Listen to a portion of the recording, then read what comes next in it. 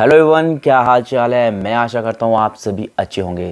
तो जैसे कि मैंने पिछली बार मैंने वीडियो बनाया था तो मैंने 700 लाइक्स का एम रखा था टारगेट रखा था, और आपने मेरा 700 लाइक का टारगेट कंप्लीट कर दिया। तो मैं बहुत ही खुश हूँ कि आप मुझे सपोर्ट कर रहे हैं। जैसे मैं बोल रहा हूँ, वैसे ही कर रहे हैं। तो मैं आपके लिए वैसे ही नई नई ट्रिक्स यहाँ पे लेके आ रहा हूँ। जैसे कि मैं आपको यहाँ पे दिखा देता हूँ, जो लास्ट वीडियो जो मैंने, मैं जैसे आपको बताया था, उसमें मुझे कितने लाइक्स यहाँ पर मिले हैं, ठीक है? तो ये वाला वीडियो जब मैंने डाला था, ठीक है? तो यहाँ पे मैंने 700 लाइक का एम रखा था। तो यहाँ पे 736 लाइक यहाँ पे आ चुके हैं, ठीक है? तो आप मुझे सपोर्ट कर रहे हैं, मुझे बहुत ही खुशी हो रही है। लेकिन आज की जो वीडियो है, बहुत ही कम माल की होने वाली अमेजिंग होने वाली है। तो आज की वीडियो में हम एम रखते हैं 800 लाइक का। और अगर आप मुझे 800 लाइक देंगे तो मुझे बहुत ही ज़्यादा खुशी होगी। तो आज की ट्रिक है ही इतनी कमाल की जिसे देख के आप जो है ज़रूर लाइक करेंगे मेरी वीडियो को। और अगर आप मुझे सपोर्ट करते हैं तो फटाफट जाके इस वीडियो को लाइक कीजिएगा। अगर नए हैं चैनल पे तो सब्सक्राइब कीजिए, क्योंकि मेरे चैनल पे इस तरह की वीडियोज़ अपलोड होती रहती हैं। सो नमस्कार दोस्तों मेरा नाम है राकेश कुमार और आप देख रहे हैं आर के न्यूज़ टेक चैनल तो चलिए इस वीडियो को स्टार्ट करते हैं। तो आज की ट्रिक बहुत ही कमाल की होने वाली है। तो यहाँ पे कुछ ट्रिक्स आपको यहाँ पे मैं दिखाने वाला हूँ, जो कि आपको पता होनी चाहिए, बहुत ज़रूरी है, ठीक है? सबसे पहले आप नोटिफिकेशन पैनल को नीचे करते हैं ना कुछ बेसिक चीज़ें भी हैं, शायद कुछ लोगों को पता होगा, लेकिन जानना ज़रूरी है क्योंकि हर कोई जो नहीं जानता, ठीक है?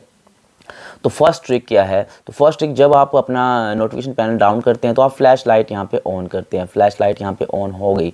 तो आप इसे ऑन ऑफ़ करते हैं, ठीक है? लेकिन यहाँ पे भी एक सीक्रेट ट्रिक यहाँ पे छुपी हुई है, वो क्या है? तो यहाँ पे फॉर एग्जांपल मैं यहाँ पे लॉन्ग प्रेस करता हूँ फ्लैश लाइट पे तो यहाँ पे इसका लेवल आप कम ज़्यादा कर सकते हैं मतलब कि ज़्यादा बढ़ा सकते हैं लेवल को कम भी कर सकते हैं। आपका ये थ्री पे रहता है, आप फोर और फाइव इसे फ्लैश को ज़्यादा भी कर सकते हैं, अपनी फ्लैश को, यहाँ पे लेवल को, और कम भी कर सकते अगर आप चाहते हैं फ्लैश एक लेवल एक पे रहे तो आपकी ये कम जलेगी फ्लैश और आपकी बैटरी भी कम यूज़ होगी, ठीक है? तो ये लेवल का ऑप्शन भी आपको यहाँ पे देखने को मिल जाता है, फ्लैश वाले ऑप्शन में, ठीक है? ये थी हमारी पहली सेटिंग उसके बाद जैसे कि आप यहाँ पे पोर्ट्रेट मोड ऑन करते हैं ना तो पोर्ट्रेट मोड ऑन करने के बाद जो जब जैसे कि आप कोई गैलरी ओपन की है, कोई एप्लीकेशन ओपन की है तो आपकी स्क्रीन रोटेट हो जाती है। जैसे यूट्यूब ओपन किया है तो आपकी स्क्रीन यहाँ पे रोटेट हो जाती है। लेकिन आप होम स्क्रीन पे करेंगे तो आपकी होम स्क्रीन यहाँ पे रोटेट नहीं होगी। लेकिन लेकिन लेकिन आपने क्या करना है? यहाँ पे लॉन्ग प्रेस करना है। ऑटो रोटेट वाले ऑप्शन में जाके, ठीक है, यहाँ पे आने का होम स्क्रीन का ऑप्शन यहाँ पे मिलता है। आपने इसे ऑन कर देना है, फिर डन कर देना है। चलिए, अब हम होम स्क्रीन पे आते हैं। तो हमारी होम स्क्रीन भी यहाँ पे रोटेट हो रही है, जैसे कि आप यहाँ पे देख सकते हैं। तो आप इस ऑप्शन को भी यूज़ कर सकते हैं अपने डिवाइस में, ठीक है। अब हम यहाँ पे नेक्स्ट सेटिंग के बारे में बात करते हैं। तो जैसे कि फॉर एग्जांपल जब आप अपने लॉक लगाते हैं लॉक लगाना फिंगरप्रिंट लगाते हैं, ठीक है? फिंगरप्रिंट लगा ओपन हो गया। लेकिन लेकिन लेकिन यहाँ पे भी एक ट्रिक है। वो क्या है? सेटिंग में जाएँगे। आप ना यहाँ पे उसके बाद लॉक स्क्रीन में जाएँगे। लॉक स्क्रीन में जाने के बाद आप यहाँ पे फिंगरप्रिंट वाले ऑप्शन में यहाँ पे जाते हैं। तो फिर आप इसे ओपन करते हैं। लॉक अपना जो पैटर्न डाला है, उसके यहाँ पे फिंगरप्रिंट ऑलवेज ऑन का ऑप्शन यहाँ पे मिल जाता है। अगर आप इसे ऑफ़ कर देंगे, ठीक है, चलिए इसको ऑफ़ करते हैं। अब मैं अपने फ़ोन को लॉक लगाता हूँ, लेकिन अब मेरा फिंगरप्रिंट यहाँ पर नहीं उठा रहा है। लेकिन जब मैं अपनी स्क्रीन को ऑन करूँगा तो मेरा फिंगरप्रिंट यहाँ पर शो हो जाएगा और ये ऑन हो जाएगा। मतलब कि अब आप लॉक स्क्रीन पर आपका फिंगरप्रिंट वर्क नहीं करेगा। इससे क्या होता है कि जब आप फॉर एग्ज़ाम्पल आपने अपना फ़ोन पॉकेट में डाला तो कई बार अपना फिंगरप्रिंट टच होता रहता है। नमी के कारण तो आपकी बैटरी भी डाउन होती है तो आप इस फीचर को ऑन कर सकते हैं और अपने ऑफ़ स्क्रीन पे फिंगरप्रिंट को भी ऑफ़ कर सकते हैं। ठीक है, इसको ऑन करना होगा दोबारा से तो आपने फिर से फिंगरप्रिंट वाले ऑप्शन में जाना है। पैटर्न को ऑन करना है यहाँ से, ठीक है? फिर आपने यहाँ पे फिंगरप्रिंट ऑलवेज ऑन कर देना है। फिर आप स्क्रीन को जब लॉक लगाएँगे तो मैं यहाँ पे देखते फिंगरप्रिंट यहाँ पे वर्क कर रहा है मेरा, ठीक है? ऑफ़ स्क्रीन पे। तो ये फीचर भी आप यूज़ कर सकते हैं, ठीक है? अब नेक्स्ट सेटिंग के बारे में यहाँ पे बात करते हैं। तो नेक्स्ट सेटिंग मुझे बहुत ही कमाल की लगी और ये ऑप्शन आपका ऑन ही होना चाहिए। तो ये कहाँ पे मिलेगा आपको? गूगल वाले ऑप्शन में यहाँ पे मिलेगा। यहाँ पे जाने के बाद आपको बहुत सारे ऑप्शन यहाँ पे देखने को मिल जाते हैं। तो यहाँ पे क्या करना है? आप ध्यान से देखना है आपने।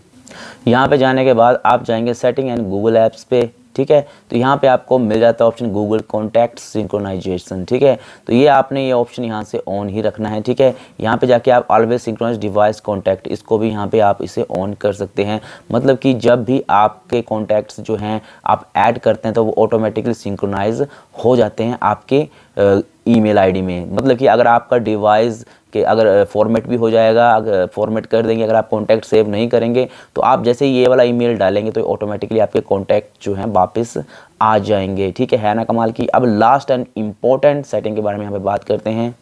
जो नेक्स्ट सेटिंग है, आपने सेटिंग वाले ऑप्शन में जाना है यहाँ पे, फिर आपको यहाँ पे एक ऑप्शन देखने को मिल जाता है, वो एडवांस्ड फीचर्स ठीक है? तो मैं आपको यहाँ पे दो सेटिंग्स बताऊँगा जो कि बहुत इंपॉर्टेंट है और बहुत ही काम भी आएँगी आपकी, ठीक है? तो वो कौन सी है, मैं दिखाता हूँ यहाँ पे। पहले call and text on other devices इसको ऑन करने के बाद ये आपका जो है सैमसंग अकाउंट मांगेगा अपने सैमसंग अकाउंट यहाँ पे डाल देना इससे क्या होगा, जैसे कि अगर आप अपने डिवाइस पे फॉर्मेट करते हैं ना, मैं आपको दिखाता हूँ, जैसे कि ये कॉन्टैक्ट्स आपके यहाँ पे आ जाएँगे, ठीक है? तो अगर आप अपने डिवाइस को फॉर्मेट करते हैं ना तो क्या होता है कि आपके जो डायलिंग में हिस्ट्री रहती है ना, वो सब डिलीट हो जाती है। लेकिन आप दूसरे डिवाइस में वही ईमेल डालेंगे तो आपकी क्या होगा? जितने भी कॉन्टैक्ट्स हैं हिस्ट्री में सभी वापस आ जाएँगे, जो मिस्ड कॉल थी, जो आपने कॉल डायल की थी, सब कुछ जो है वापस आ जाएगा इस सेटिंग को ऑन करने के बाद। वैसे ही सेकंड सेटिंग भी उसी तरह वर्क करती है। उसके लिए फिर से आपको यहाँ पे एडवांस फीचर में जाना होगा। तो continue app on other devices इसको ऑन करेंगे तो ये भी आपका सैमसंग अकाउंट मांगेगा।